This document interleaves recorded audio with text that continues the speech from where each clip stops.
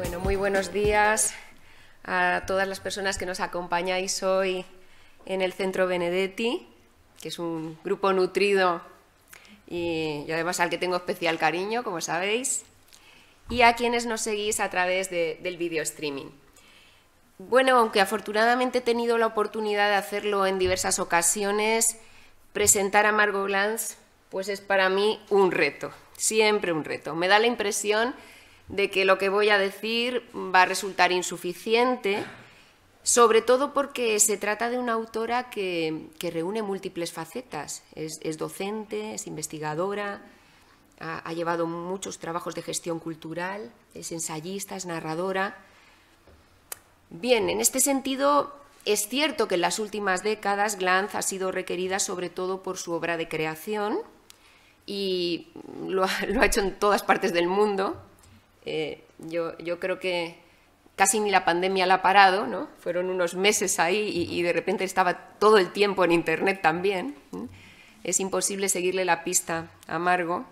por eso es tan difícil mandarte WhatsApp, porque no sabes si estás mandando un horario correcto, en qué parte del mundo está. Eh, nuestro último encuentro fue en Alicante en 2001, algunos de los que estáis aquí nos acompañasteis y precisamente tuvo como objetivo hablar de su obra de creación, y de esa antología que, Carmen Alimán y yo habíamos preparado sobre ella.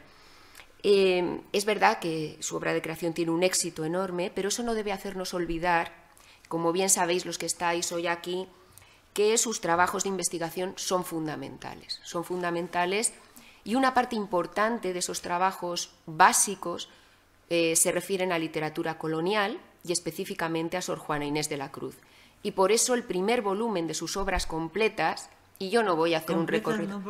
es verdad, no son completas. Habrá quinto volumen.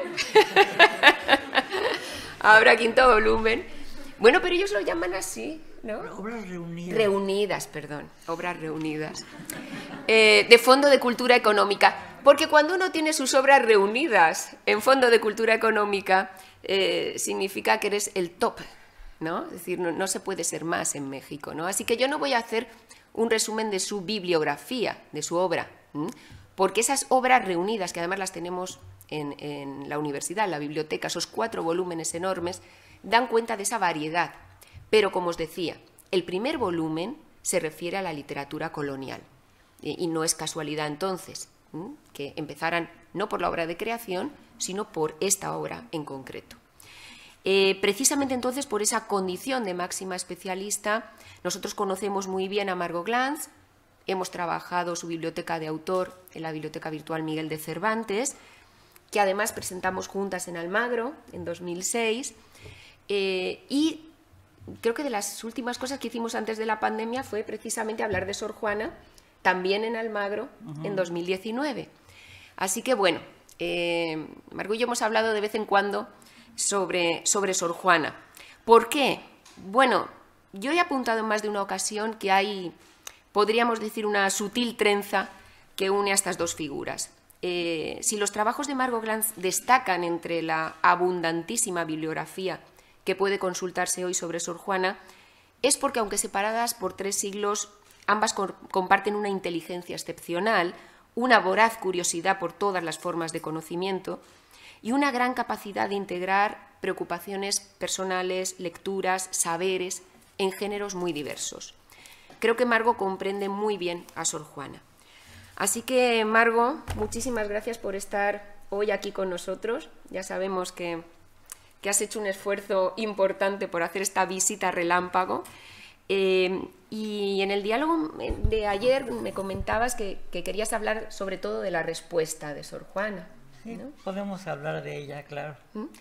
Y, me decía también que prefería que hiciéramos un diálogo y que en cualquier momento vosotros pudierais intervenir. Bien, así que yo voy a empezar haciendo alguna pregunta, pero eh, como la mayoría de los que estáis aquí habéis leído parcialmente por lo menos la respuesta y sabemos, decimos la respuesta, pero vamos a hablar a, los, a, las personas que están también eh, online, la respuesta a Sor Filotea de la Cruz, ¿eh? Obra de 1691 con la que Sor Juana está dando cuenta de su vida. Si quieres empezamos por eso, Margo. ¿Qué es la respuesta? ¿Por qué es tan importante este texto? Bueno, en primer lugar, muchísimas gracias por recibirme aquí. Me da mucho gusto estar en este centro al que he venido muchísimas veces.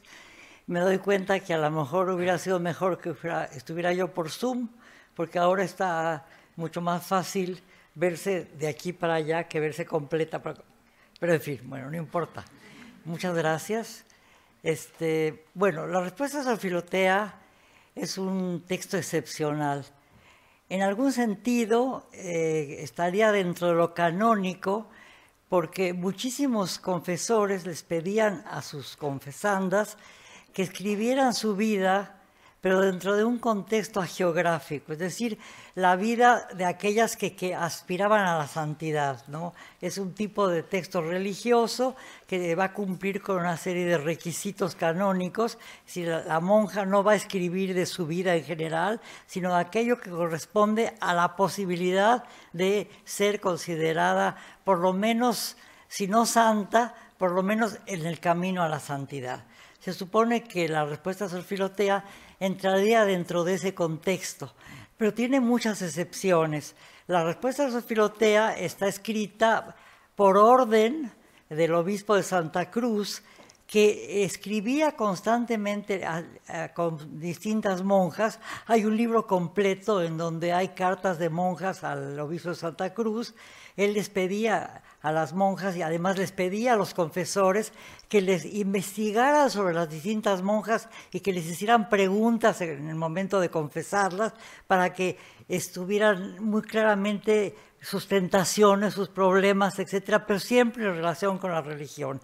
Y las cartas de Santa Cruz a las monjas estaban firmadas por el obispo de Santa Cruz, es decir, la dignidad del obispo frente a la monja, que era siempre una obediente, eh, este, religiosa que estaba contestando a lo que le pedía el obispo.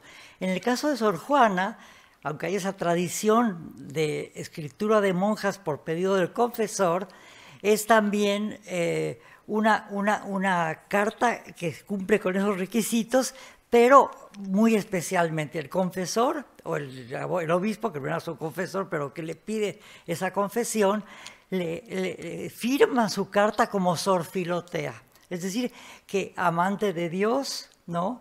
Pero eh, se traviste de mujer, de monja, para ponerse al mismo tono, en el mismo contexto en el que se podría poner Sor Juana. Sor Juana lo entiende perfectamente y contesta.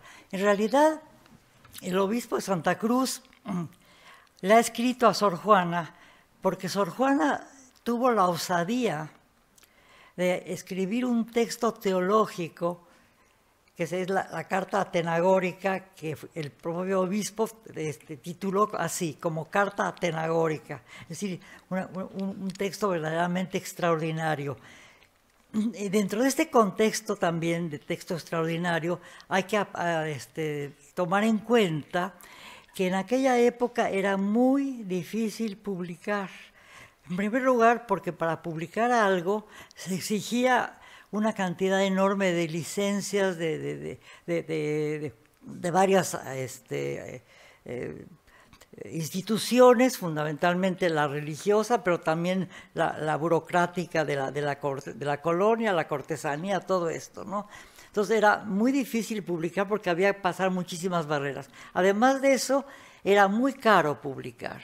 Entonces, publicar la carta atenagórica significaba una especie como de proeza y de una, este, una reverencia a Sor Juana. Y Sor Juana lo entiende así, pero al mismo, al mismo tiempo entiende que es una especie de reconvención porque una monja se atreve a incursionar en terrenos teológicos que solo están permitidos para los varones. ¿no? Entonces, en ese sentido, Sor Juana ha cometido un error muy grande desde el punto de vista eclesiástico y el, obispo de Santa Cruz, al mismo tiempo que la beneficia publicándole la, la carta tenagórica para que se vea de mejor letra, le dice, eh, Además de eso, la reconviene porque le dice que no se ocupa lo suficiente de asuntos religiosos.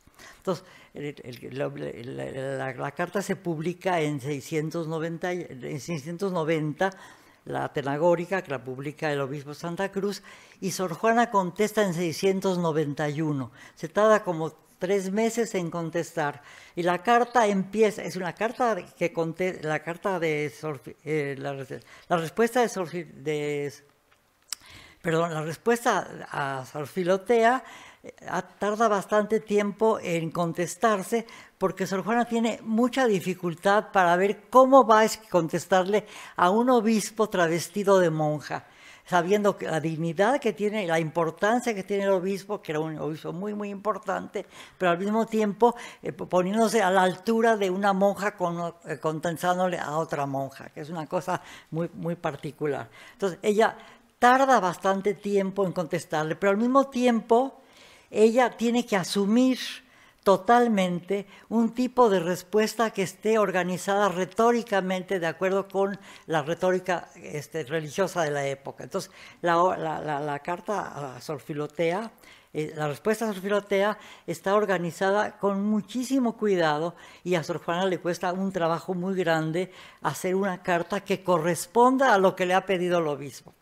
Bien, la primera parte de la respuesta a Sofilotea es una parte eh, de, peticio benevolencia, es decir, que le pide disculpas por haberse tardado tanto tiempo en contestar la carta. Y le dice que, bueno, eh, que en primer lugar enmudece porque tal favor tan extraordinario, sacarla a la luz, publicarla, etcétera, se vuelve verdaderamente extraordinario para ella y para la época. Entonces, eh, eh, tal favor eh, provoca un enmudecimiento y él explica qué sentido tiene ese enmudecimiento. Es entonces habla de la importancia que tiene el silencio para que el silencio, de alguna forma, a pesar de ser silencio, diga algo. ¿no? Entonces es muy importante para... Y, se, pasa varias páginas explicando por qué ha tenido esa mudez. Pero esa mudez y ese silencio, ella los explica relacionándolo con asuntos religiosos.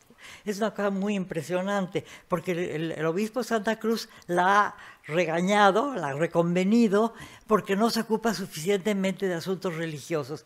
Y el texto es un texto de sabiduría religiosa impresionante decir, que eh, las primeras páginas están llenas de una serie de, de, alusiones a personajes fundamentales de la religión, tanto de la época bíblica, es decir, Saúl, eh, y, cuando es ungido rey de, Israel, que se enmudece cuando le, otorgan esa distinción ser rey de Israel, o este, eh, Santo Tomás de Aquino frente a Alberto Magno, que fue su maestro, que enmudece, y, la Virgen, digo, la, madre del Bautista, de San Juan Bautista, enmudece cuando la Virgen María se le acerca y le, le, avisa que va a tener un hijo que va a ser muy importante para la vida de Cristo. ¿no? Entonces, esos tres ejemplos son verdaderamente eh, eh, tremendos y, al mismo tiempo están como este,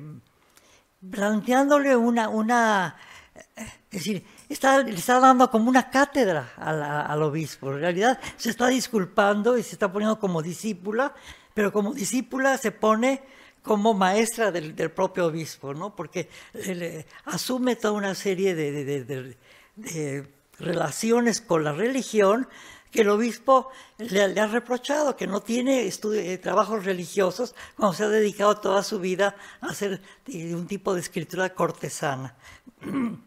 Sor Juana le demuestra en las primeras páginas que no es en absoluto una cortesana y que conoce perfectamente la religión.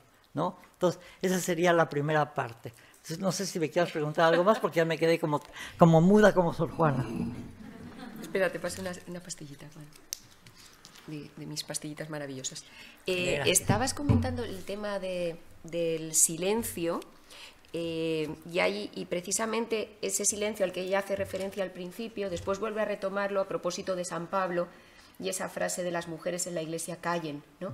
Entonces no sé si puedes mm, ahondar en esta idea que no pudimos trabajar en, clase prácticamente, eh, de cómo ella va incluso a corregir a San Pablo en esa idea de que la mujer también puede no solo pensar, sino escribir y dar a conocer su conocimiento. Bueno, eh, esa, es una parte de la, de la uh, respuesta sacerdotea que viene mucho después, ¿no?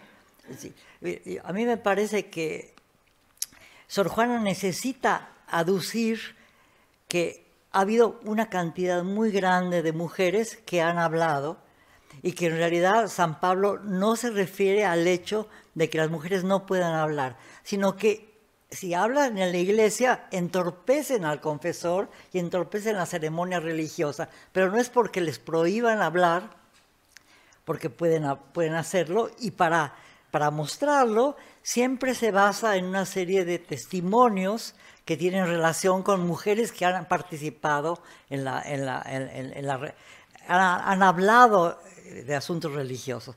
Y entonces para eso hace una especie de genealogía femenina y muestra cómo hay toda una serie de mujeres fundamentales que han podido hablar.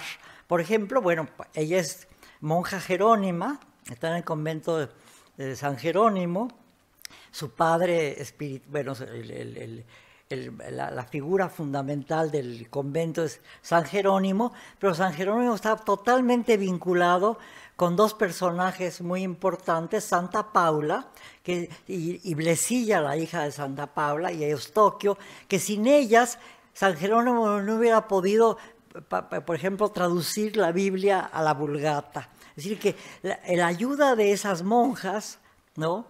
Es, eh, es fundamental para que San Jerónimo pueda funcionar como el gran este, erudito religioso que fue. Es decir, que en ese sentido eh, San Jerónimo no está solo, sino necesita de mujeres sabias para poder eh, publicar lo que, lo que, es decir, poder investigar y seguir trabajando sobre cosas absolutamente muy, muy específicas de la religión. Y para eso también, insisto, eh, ella insiste que hay muchas mujeres, no solo Blesilla, Paula y Eustoquio, sino que ha habido una cantidad infinita de mujeres a lo largo de la historia. Entonces empieza con las mujeres griegas, ¿no? las, mujeres que han este, eh, escrito y que han desempeñado papeles religiosos muy importantes, luego sigue con las latinas y luego habla pues de las este, religiosas eh, eh, contemporáneas, se, refiere a Santa Teresa de Jesús, ¿no? Obviamente, que escribía antes de ser canonizada, porque eso es muy importante lo que ella plantea, si antes de ser canonizada, que por tanto ya tiene el respeto del canon para poder hacerlo, sino que antes de serlo, eh, bueno, Santa Teresa pasa por una serie de etapas hasta inquisitoriales, ¿no? Entonces ella, eh, en la época en que todavía no era canonizada, se permitió escribir lo que escribió. Y está otro personaje fundamental al, que ella alude, que es la, madre de Ágreda, María de Ágreda, que es un personaje fascinante porque eh, era consejera de Felipe IV, es decir, eh, ahí se, revierte totalmente los papeles. Es decir, políticamente es una monja la que decide de los destinos de España porque el rey no puede funcionar sin los consejos de la monja. Con lo cual está mostrando que las mujeres son tan importantes, aunque les nieguen el papel que tienen en la, en la realidad. Y que, bueno, eh, aristocráticamente, monárquicamente, una mujer tiene un papel tan fundamental como la madre de Ágreda. Pero aparte de eso, la madre de Ágreda escribe La ciudad de Dios, no, la ciudad, no me acuerdo cómo se llama, no importa.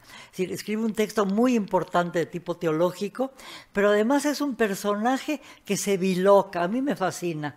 Es, decir, es un personaje que tiene la capacidad de la bilocación. Está en su convento, pero aparece en figura eh, vestida de un manto azul en eh, Nuevo México y catequiza a los indios en Nuevo México. Entonces, ese personaje es fundamental. En México hay una iglesia en, en, una zona del país muy, muy hermosa, eh, donde hay varias, varios, varias misiones y hay una iglesia en donde ella aparece en, la parte, en el frontón de la iglesia como, como una figura esencial. Y esta es una de las figuras a las que alude este Sor Juana para defenderse de que pueda, ah, de, de, utilizar el mundo religioso, utilizar la teología para expresarse cuando una mujer no puede expresarse teológicamente aunque sea monja, que, es, una de las cosas que el, obispo le reprocha. Pero además, pues hay una serie de, personajes, Débora, Ruth, es decir, muchísimas mujeres que son las que han sobre, sobresalido en la historia sagrada y en la historia profana, eh, griega, romana, etcétera, y que le permiten a ella afianzarse como monja que es capaz de escribir un texto teológico. Eso me parece muy interesante. Ahora, eh, también hay, un elemento que a mí me, me, impresiona mucho. Cuando Sor Juana es eh, dama de honor o criada, digamos, de la marquesa de Mancera, eh, cuando todavía no es monja ella, muy jovencita, la, han colocado como dama de honor de la virreina de, la, de Mancera, eh, es, tan inteligente eh, eh, Juana de Asbaje que el virrey de Mancera decide convocar a 40 sabios para que la examinen, para saber si Sor Juana era un talento infuso o trabajado. y, la presenta a hacer cátedra en una especie de universidad a domicilio en el virreinato, en el Palacio Virreinal, para que la examinen los más importantes sabios de la colonia, cuando ella tiene 17, 18 años. Y ella, como dice el marqués, bueno, lo cuenta el padre Calleja, que era el corresponsal de Sor Juana en España, un jesuita, eh, con el cual ella, eh, escribió muchísimas cartas y que, eh, hay una correspondencia que debe ser maravillosa y que se ha perdido, pero que seguramente está aquí en España en alguna de las casas reales, ¿no? lo que me parece muy impresionante es que Sor Juana, desde muy niña, le pedía a su madre que la vistiera de hombre para ir a la universidad. Y por eso la madre la manda a México, a casa de unos parientes suyos, de su hermana, y está casada con un importante eh, personaje de la colonia, Mata, Juan Mata, que a su vez se da cuenta que Sor Juan es tan interesante, bueno, Juana de Azaje es tan interesante que la manda al, al, virreinato con el marqués de Mancera y la marquesa de Mancera para que eh, se siga instruyendo, porque es muy importante eso. Pero es tan, tan, tan, tan sabia, tan maravillosa la, memoria, la, la, capacidad de discusión a los 17, 18 años, que, insisto, el marqués de Mancera convoca a los más importantes eh, figuras de todas las disciplinas en esa época para que la examinen, para saber si su talento es natural o dado por Dios, ¿no? Bueno, natural es dado por Dios, pero o si es un, talento que ha sido trabajado con esfuerzo por la persona que va a ser examinada. Y Sor Juana, dice el, marqués de Manzana, Mancera, se desempeñó como un, eh, un galeón real frente a 40 chalupas. Es decir, que los venció a todos a los 18, 17 años. Lo mismo pasa con el obispo de Santa Cruz. Eh, parece ser como que el obispo le, exige que ella demuestre que lo, que sabe, ¿no? Eh, y, ella lo demuestra de una manera tan impresionante que yo creo que el obispo se quedó patitieso. bueno, entonces, eh, estabas hablando de Santa Teresa como uno de los modelos de, de Sor Juana y y siguiendo el orden de la respuesta que yo había desordenado, eh, ese inicio verdadero de la respuesta, es decir, eh, el inicio de voy a contar mi vida, tiene mucho que ver también con Santa Teresa, pero al mismo tiempo tiene diferencias. Bueno, es decir, yo creo que eh, lo que hace el obispo es una cosa tradicional que hacían los confesores, lo dije al principio. Los confesores, cuando encontraban que una monja era interesante, distinta a las demás, les exigían que escribieran su vida, ¿no?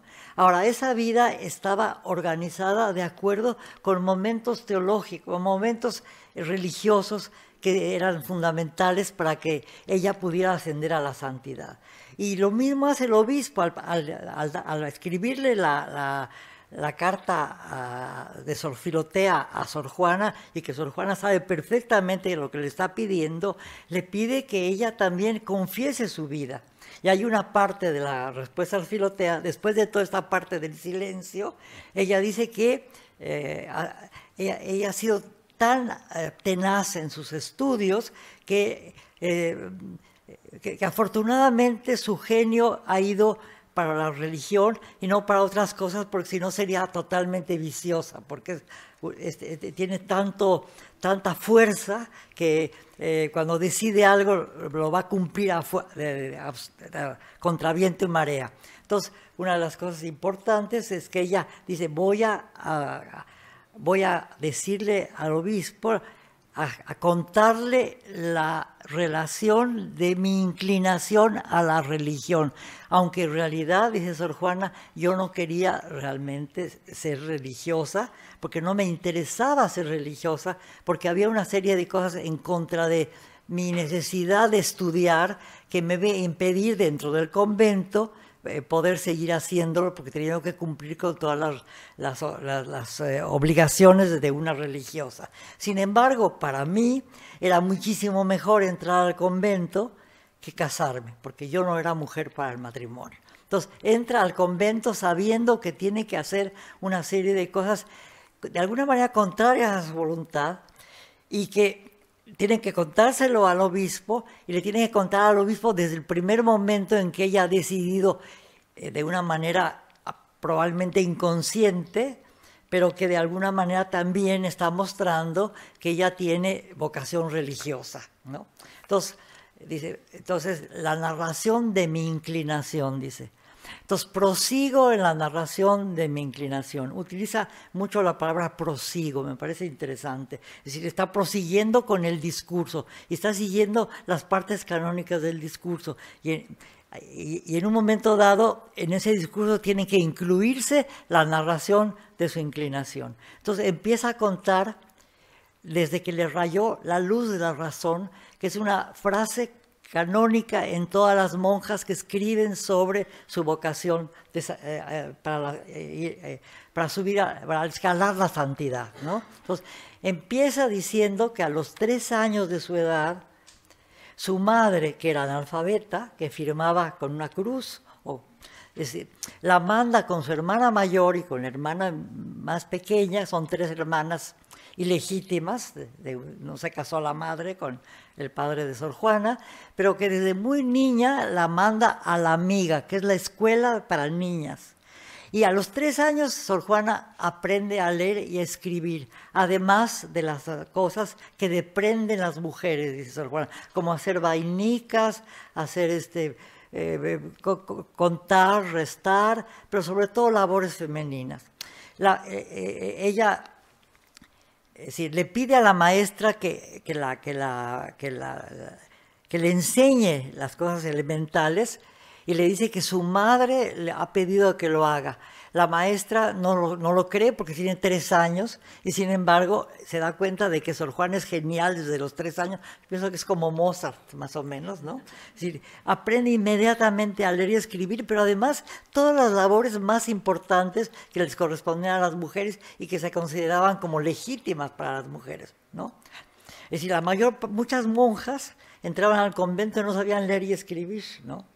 Sor Juana no solo sabía hacer vainicas, cocinar, etcétera, contar, leer, etcétera, sino que al mismo tiempo eh, era matemática, astróloga, este, música, ¿no? Eh, sabía latín, aprendió muy rápido, porque estando ella en, el, en la casa de la virreina, el padre Núñez de, Miranda, que fue su confesor, le pagó 20 lecciones de latín. También lo cuenta en la narración de su inclinación. Me pagó 20 lecciones para aprender latín. Pero para aprender latín, dice ella, era necesario que yo me impusiera condiciones. y lo que yo hacía era no comer queso, a mí me parece maravilloso. No comer queso como si fuera la golosina más maravillosa que pudiera haber en el mundo. Es tan importante comer queso en esa edad, dice ella, y sin embargo yo me privaba de comer queso. Eh, me parece como una condición muy, muy divertida, ¿no? No comer queso, porque el que, comer, comer queso hacía rudos, dice, ¿no? Hacía tontos. Entonces ella deja tomar queso. Pero al mismo tiempo, cuando ya está aprendiendo latín, ella decide que no puede seguir trabajando el latín si no aprende inmediatamente. Entonces, cada vez que ve que le cuesta trabajo seguir en los estudios de latín, se corta el pelo. Dice, porque no me parecía que una, que una cabeza, que era una cosa tan importante en las mujeres de mi edad, dice, que una cabeza este, tuviera pelo cuando estaba desnuda de noticias. ¿no? Entonces, muy importante, se corta el pelo y, y, espera que, a que crezca para ver si ha aprendido las lecciones de latín que tiene que aprender. Entonces, es decir, está contando cómo se ha hecho lo que es ella. No, no por Dios, dice, es decir, no es infuso, no es, no es natural. Es una cosa que probablemente es un don que Dios me ha conseguido, pero de todas maneras es un don que necesito cultivar, porque si no lo cultivo voy a ser una tonta, voy a ser ruda, dice ella. Entonces, esto, esto es muy importante en, en, la confesión, cuando ella prosigue en la narración de su inclinación, dice que es absolutamente fundamental, ¿no?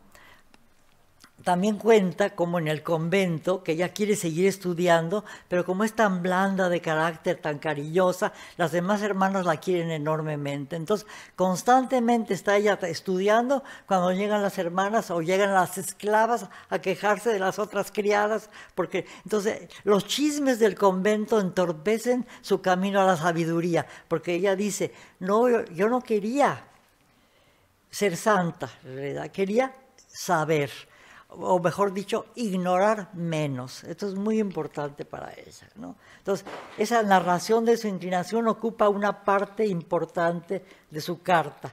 Después viene lo que tú me dices, ¿no? que es la, eh, la prohibición de que las mujeres hablen en la iglesia, en el sentido no solo de que hablen en la iglesia cuando hay misa o cuando hay ceremonias religiosas, sino que las mujeres no tienen derecho a participar eh, como los hombres en cuestiones teológicas. Cuando Sor Juan Inés de la Cruz, cuando el padre eh, Fernández de Santa Cruz le publica la Tenagórica, se produce, una especie de conmoción brutal en el mundo eclesiástico y burocrático de su tiempo. Empiezan a haber libelos contra Sor Juana y al mismo tiempo elogios. Eh, en el convento donde ella está, San Jerónimo, hay sermones alabándola como monja y diciendo que es una maravilla lo que ella ha, hecho en, el, lo que está este, incluido en la carta tenagórica, que ahora yo voy a explicar qué pasó, por, qué aparece esa carta tenagórica y, al mismo tiempo también una cantidad enorme de ruidos con la Inquisición. Como ya dice, no quería yo meterme en asuntos religiosos porque no quiero ruidos con la Inquisición. Si escribo cosas de cortesanía, versos, etcétera, que le dedico a, los virreyes o a, a, mis benefactores, o etcétera, la gente puede reírse de mis versos, pero no son cosas de inquisición. En cambio, si escribo, hablo de cosas religiosas, me voy a tener ruidos con la inquisición, cosa que pasa exactamente. Cuando se publica la, se publica la tenagórica, Sor Juana es sujeta a, una cantidad de, persecuciones muy importantes, sobre todo de la iglesia eh, novohispana. Al grado, bueno, pregúntame algo más. Bueno, estábamos hablando de, ese momento culminante. Antes de entrar en la persecución, si quieres, eh, hablamos de cuando Sor Juana comenta que de todo lo que ha escrito, eh, lo único que ha hecho verdaderamente por propia voluntad es el sueño. Bueno, Sor Juana eh, tiene un confesor, que es el padre Núñez de Miranda, que era un jesuita, que ostentaba su humildad al grado que se vestía con harapos y, en los harapos y en el, en el, pelo tenía piojos, porque era la humildad absoluta. ¿no?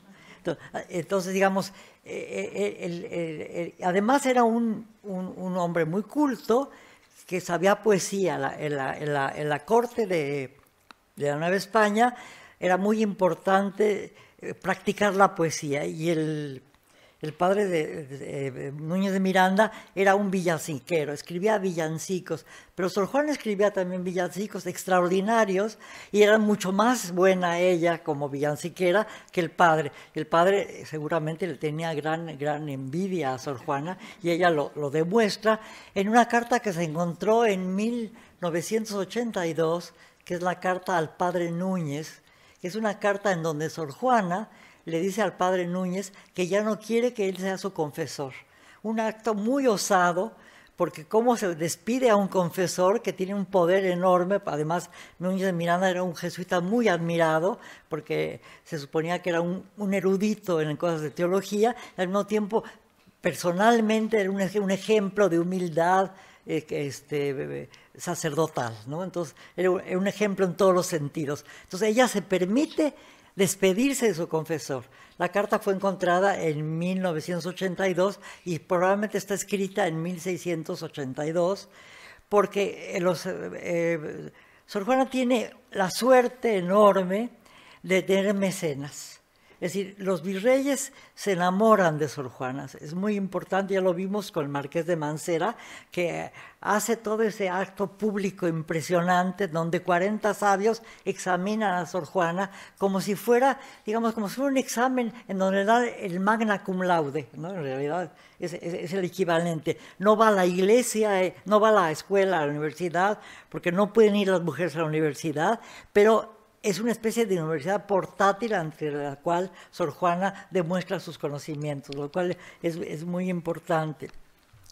Pero este, cuando en 682 ella despide a su confesor, lo despide porque ya tiene el patrocinio de los marqueses de la laguna. Cuando en 1680 los marqueses de la laguna llegan a México para convertirse en los virreyes, el arzobispo virrey este, eh, Payo de Rivera le pide a Sor Juana que escriba el, el, que, que, organice el, acto, el, arco alegórico que va a recibir a los virreyes en la catedral eh, metropolitana. Le piden a Sigüenza y Góngora, que es el otro gran sabio de esa época que reciba a los, a los virreyes en Santo Domingo. Pero el, el, arco más importante, el Neptuno alegórico, lo va a hacer Sor Juana. Es decir, idea, eh, eh, organiza mentalmente cómo debe estar construido el arco, pero al mismo tiempo escribe un poema importantísimo que es el Neptuno alegórico. Y ese Neptuno alegórico elogia a los marqueses, y como son de la laguna, Neptuno alegórico. ¿no? Entonces, es un texto extraordinario que inmediatamente cautiva a los marqueses. Y la, marquesa de Paredes, que es una mujer muy culta, llega a México y se aburre mucho, ¿no? Este, porque le parece, pues, una corte eh, virreinal, pero frente a la corte española pues, es una cosa como que la han descendido de categoría. Y de repente encuentra a Sor Juana, y le parece que es la figura más interesante con la cual tener una relación intelectual.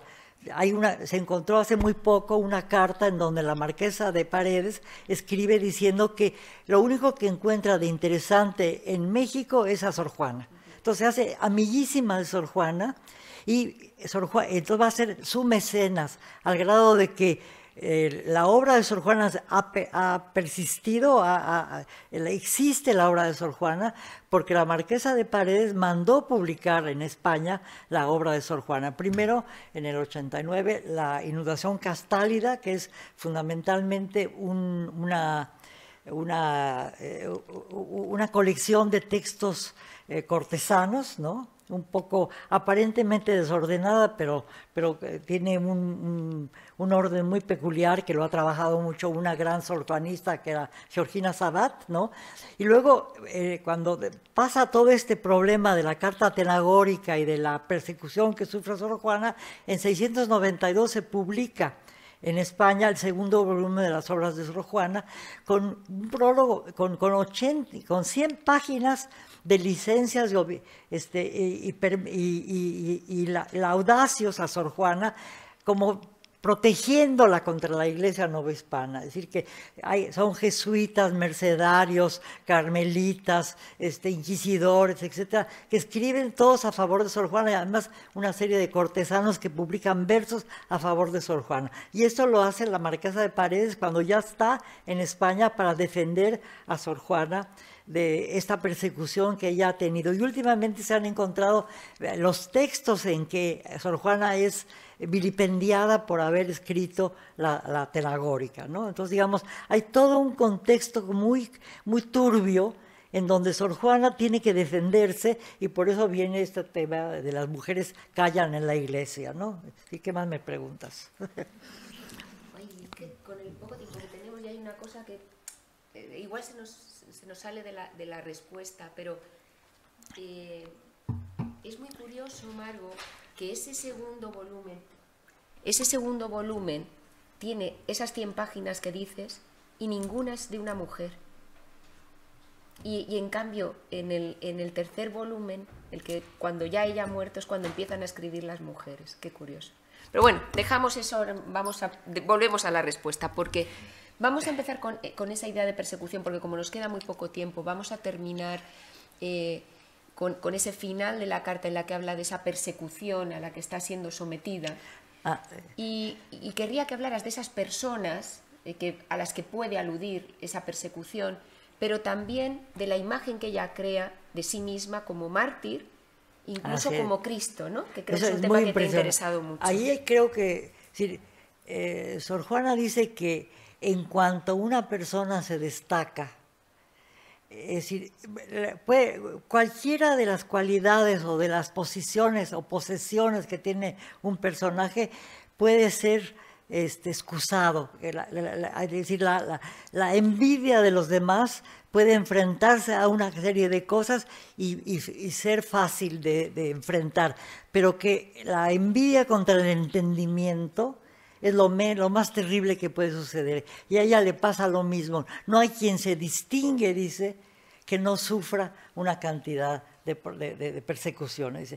Al grado de que a mí me prohibieron estudiar. Había una priora tan, tan tonta en realidad, que pensaba que el estudiar era cosa de inquisición en una mujer y me prohibió estudiar. Y sin embargo yo no podía estar sin estudiar. No, no estudiaba yo los libros, pero veía yo las vigas de mi, de, de mi, de mi celda y deducía cosas matemáticas de lo que estaba. Luego, por ejemplo, están las niñas que están en el convento, de, el, que están educándose en el convento, jugaban con un trompo. Entonces ve cómo están jugando con el trompo y tira eh, harina y ve cómo las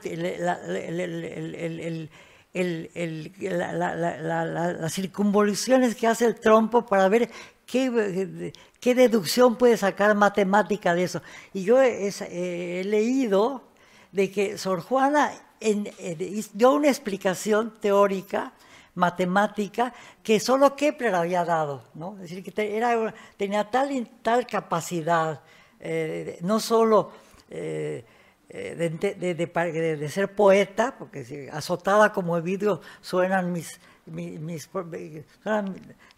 azotada como vidrio, porque, la, bueno, no me acuerdo exactamente del verso, pero eh, ese, yo, yo, pensaba que todo el, toda la gente nacía sabiendo hacer poesía. Yo pensaba que todos pensaban poéticamente, me di cuenta que no era así, pero yo era azotada como vídeo y me sonaban en verso mis, mis, mis, quejas, creo que dice así, ¿no? Entonces, digamos, es decir, eh, eh, es, es, tan importante lo que ella hace que al mismo tiempo que la alaban tremendamente porque es un personaje, por ejemplo, se concebía eh, en España, se decía, Vamos a Américas no solo por el oro mineral, sino por el oro intelectual, porque Sor Juana es el oro mental. Este. Entonces, muchas veces desembarcaban, es un poco exagerado, pero desembarcaban después de las carabelas, años así, de, que, meses y meses estar en el mar, llegaban a México, lo primero que querían era ir al, locutorio o a ir a Sor Juana. Y justamente la carta cenagórica, Sor Juana la recita en el, en el locutorio y hay un personaje que le dice, es tan maravillosa su discusión eh, teológica, te explico de, por qué, y que, me gustaría verlo por escrito. Entonces ella lo escribe a mano, en un cuaderno de mano, que le llega al obispo de Santa Cruz y él la publica como carta tenagórica. Es decir, eh, bueno, hay que saber lo que es la carta tenagórica para seguir adelante, ¿no? La carta tenagórica en realidad es una especie de, eh, eh, argumentación que Sor Juana sostiene contra el padre Vieira, que era un padre, un jesuita portugués muy importante en su época, que disiente del, de, sobre las finezas de Cristo de tres santos, San Cristóstomo, San Tomás y San Agustín. Entonces, Sor Juana este, critica al padre Vieira porque dice que es un hombre inteligentísimo, pero que su, su, este, su eh, su discusión, su argumentación es una argumentación tan bella, pero sobre eh, pies de barro. ¿no? Entonces ella puede cambiar totalmente la argumentación y ella va a decir cuáles son las máximas finezas de Cristo según ella piensa. Entonces a su vez rebate no solo a Vieira, sino a los tres santos. ¿no? Entonces al final de la carta, este, la respuesta a Sofilotea, ella dice, si el crimen fue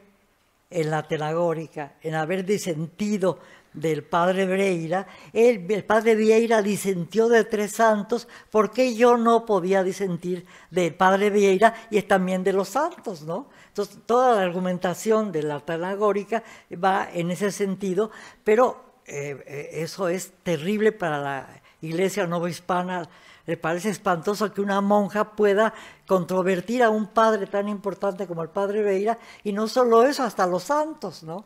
Entonces, la imaginación de Sor Juana, está, la, capacidad de pensamiento de Sor Juana es tan extraordinario que puede eh, argumentar hasta contra los santos más importantes de la iglesia. Y eso no se lo permite la, la burocracia eclesiástica. Y ella dice, el que está encumbrado por su entendimiento será perseguido eh, absolutamente. Yo he tenido una cantidad de elogios en mi vida, pero al menos tiene una cantidad brutal de persecuciones, porque este, el que está en lo alto recibirá siempre escarnio. Entonces se compara con Cristo, que es una cosa que a mí me parece un poco hasta sacrílega, ¿no? Es decir, es decir al hablar de defenderse de ella, de los agravios que ha tenido, por haber escrito, por ser ella y por haber escrito la tenagórica, se compara con Cristo y entonces habla de la relación de Cristo y los, y los fariseos, bueno, toda la pasión de Cristo y ella siente como que su pasión de alguna manera se equipara con la pasión de Cristo, con lo cual a mí me parece que ella llega pues a bastante violento, ¿no? Para la iglesia de la época, ¿no?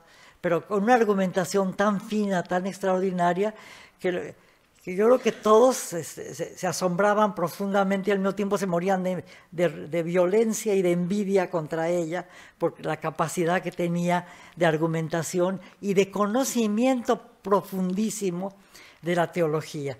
¿no? al grado de que la obligan, el obispo Agari Seijas, el arzobispo Agari Seijas, la obliga a vender su biblioteca. Yo pienso que, que, Sor Juana no abjuró, no volvió a hacer, es decir, cuando después de la tenagórica la obligan a volver a, profesar.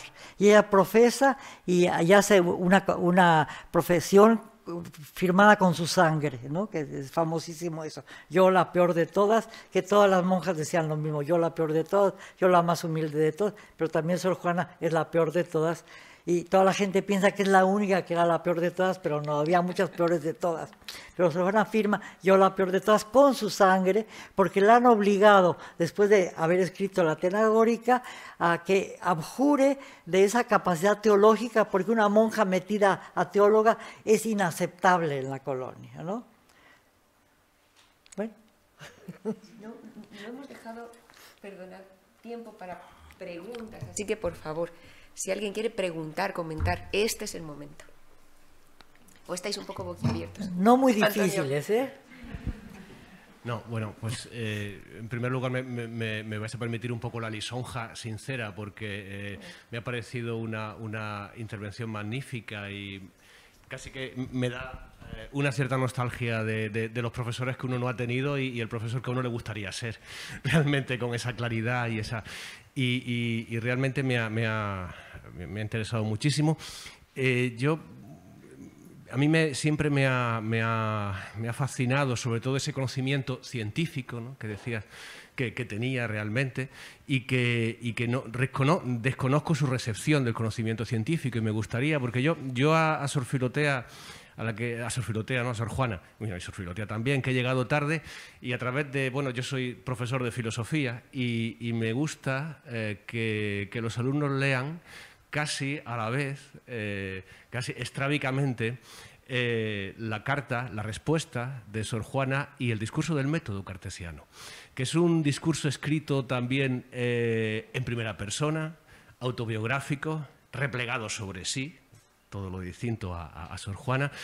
Pero me gusta leerlo porque hay unos paralelismos muy interesantes y cuando uno está leyendo a Sor Juana esos ejemplos que ha dicho del trompo, está en la cocina, está guisando, está fijándose por qué los huevos se unen con el aceite caliente y se deshacen con el almíbar. Y dice, si Aristóteles hubiera guisado, hubiera hecho...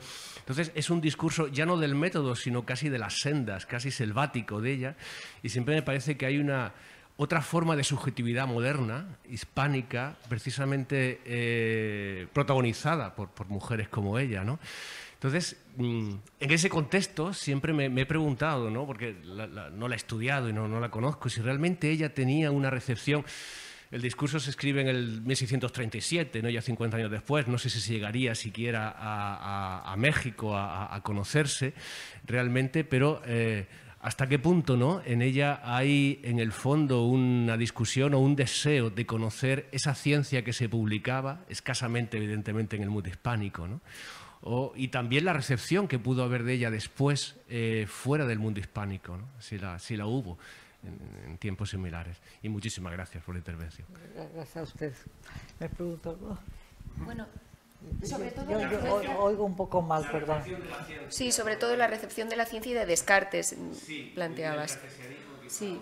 Bueno, se ha discutido mucho si conocía o no conocía a Descartes. A mí me parece que sí, porque había mucha, eh, eh, llegaban muchos libros prohibidos que pasaban la censura y probablemente Sor Juana tuvo conciencia de eso o, era tan inteligente que, entró en la modernidad sin que pareciera que estaba en la modernidad, porque ella trabaja, muchas de las razones que ella esgrime son tradicionales tomistas, etcétera, logísticas, etcétera, siguiendo la tradición de la época.